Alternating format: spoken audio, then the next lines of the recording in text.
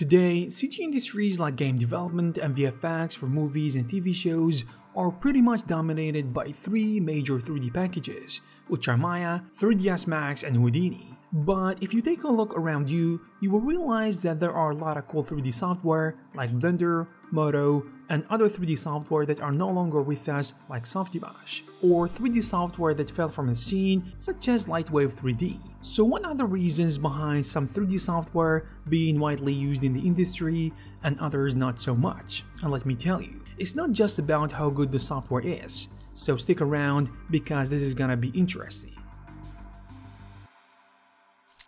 In the early days of computer graphics, having a 3D software that can make video games and visual effects was something very special. You see, 3D software such as Max, Lightwave and Houdini were very hard to develop back in the day and they were very expensive. For example, at some point, Houdini could set you back $17,000 per license. Regardless, VFX and game development studios were ready to pay the price because, to be frank, these were pretty much all the options that artists had back in the day. This means that whichever the first software was to collect the biggest user base of artists and studios had a stronghold on the market for decades to come. But of course, under some conditions. For example, a 3D software can't get by for decades without being developed with new tools and features, also updated to meet the needs of 3D artists but some 3D software just don't cope with the progress and needs of the CG industry. And this is what we have seen with software such as Lightwave 3D, which is now just a shell of its former self in terms of popularity. Lightwave 3D played a significant role in the VFX industry, especially during the 1990s and the early 2000s. Its appeal largely stemmed from its affordability, in addition to its capabilities and the unique division between its modeling and animation but now it is not that popular and it suffers from lack of development and negligence to a certain extent. The most recent release was in 2020, but hopefully there is gonna be a new upgrade, a new release in late 2023. When you look at it back in the day, it was used on great and very successful movies like The Titanic in 1997, 300 in 2006, and even Iron Man in 2008 and successful TV shows like Babylon 5, Star Trek Voyager, Battlestar Galactica, and more. But that was more than 15 years ago. And if you know anything about creative fields such as digital art like game development and VFX, you should know that the technology is moving too fast. Over the years, other 3D software like Maya, Max, Houdini, and Cinema 4D have undergone rapid development introducing innovative features and streamlined workflows. These packages offered robust capabilities that appealed to studios and individual artists alike. If you were a Lightwave 3D user back in the early 2000s, you would never think this would happen and you will never believe that this 3D software will be forgotten. But it did, unfortunately. Also, one thing that keeps software such as Max, Maya, and Houdini on top is the fact that it is very hard to switch software and production pipelines. Generally speaking, it is known that it is hard to change software and production pipelines along the way. But if a 3D software or any other software does not keep up with the needs of artists and productions, it will be left in the dust. I mean, it will happen over the years, of course. But on the other hand, if it meets their demands and helps ship projects successfully, they will be extremely hesitant to switch to a different 3D package. Take for example Blender. It is great, it is free, and it is awesome. But it is not widely adopted in the industry. First of all because change is extremely hard. But there is another reason which is technical support. And this is something that we're gonna talk about later.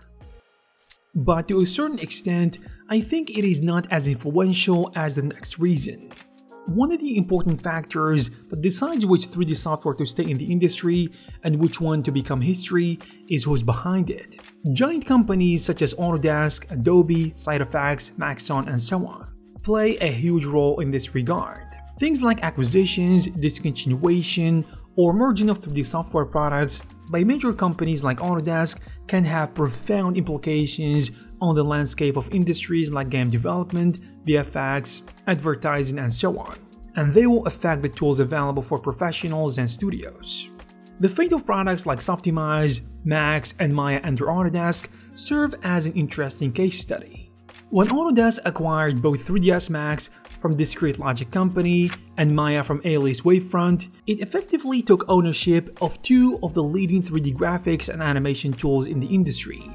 The acquisition of such major tools granted Autodesk significant influence over the 3D design and animation market. However, with the discontinuation of Softimage, which was a great software in VFX, game development, and the animation community, Autodesk made a strategic decision. Softimage had a dedicated user base, and its termination meant that those users had to either migrate to other Autodesk products or seek alternatives outside of Autodesk. Unfortunately, Autodesk had a monopoly, and they still do by the way, which can be a negative thing unless Autodesk keeps developing their 3D tools to meet the demands of 3D artists.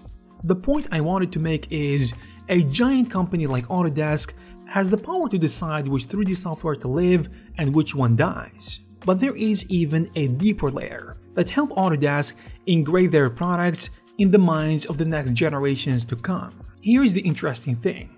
Autodesk's strategy of offering software like Max and Maya to students, and they do this for free, is considered a clever approach to foster brand loyalty and embed their products deep within the industry's fabric. And they do what is called educational seeding, where you introduce users to a tool at an early stage in their learning process in hopes they will continue to use it as they progress in their careers, which is smart. By providing students with free access to 3ds Max and Maya, Autodesk ensures that the next generation of VFX artists, game developers, and 3D modelers in general become familiar with their software from the outset. As these students undergo training and build their portfolios, they naturally lean into the tools they knew best and those they had access to during their formative learning years. So as you might have expected, over time, this continuous flow of new professionals entering the industry with proficiency in Autodesk software reinforces the software dominance. Naturally, of course. And here is the funny thing. As schools aim to provide relevant training, they will often structure their curriculums around the most popular and widely used tools in the industry, knowing that a significant portion of the industry uses Autodesk products. These institutions will be more inclined to teach Max, Maya, and other Autodesk tools. This again creates a feedback loop. This means that students learn Autodesk software, they go to the industry to use it, and as more professionals use these tools, schools will have to teach these tools, and the cycle goes on. There is something else I want to talk about. Some 3D software developers don't listen to the needs of artists, or they make changes in the wrong direction just like what happened to Modo. In the early days, Modo quickly made its mark in the 3D industry, especially for its prowess in modeling. Over a relatively short period of time, it gained traction and was recognized as industry standard, especially for modeling. But I think where made its fatal mistake and error in judgment was when they began expanding its suite of tools to cover areas beyond just modeling such as animation, simulation, and rendering. The intention was likely to offer a more comprehensive 3D package similar to software like Max and Maya. The only problem was that this expansion presented challenges. As Modo ventured into areas where other software packages had already established dominance, which is a key point, and this has been more than a decade for its competitors, which meant it faced stiff competition. From what I have seen, Modo was celebrated for its modeling capabilities, and the new tools after the expansion weren't met with the same level of enthusiasm. Some users felt that this was a quest to be a jack of all trades, and Modo might have spread itself too thin, instead of being a master in modeling. It now risks being seen as adequate in many areas, but not really excelling in any particular one.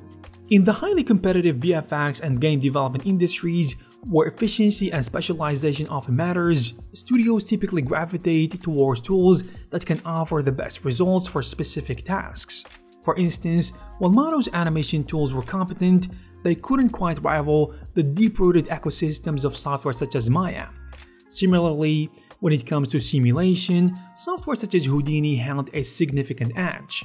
But the next bunch of 3D software did not make the same mistakes like Modo As a result, they did not suffer the same fate, because they target a certain type of artist and they aim to help them do one particular task really well. For example, if you look at ZBrush, it was a 3D modeling software more than 15 years ago, and it is still a 3D sculpting software today. That's why it is the most important 3D software for this type of work in the industry. In fact, it is so good, it has no competitors. Other specialized software include 3D texture painting software such as Substance Painter and Mari. Substance being a go-to 3D software in game development, and Mari the go-to texturing software in VFX projects, which makes sense, looking at their features and tools. But they can be used interchangeably nonetheless. However, these software aren't 3D packages that can cover all the production pipelines. So if they get lazy, studios and artists can use the best next alternative.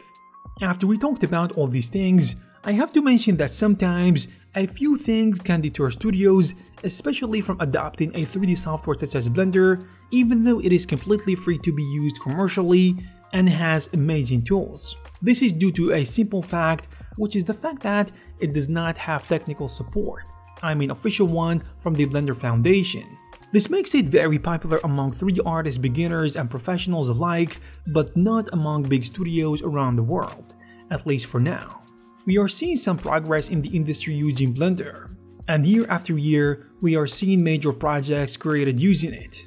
But it is not industry standard yet, and I hope there will be official support to help more studios adopt it further in the industry because it is such a fantastic tool. So there you have it guys. I hope you found this video useful and informative. If you did, please give it a thumbs up and subscribe to this channel to receive more videos like this. Thank you very much for watching and I will see you in the next one.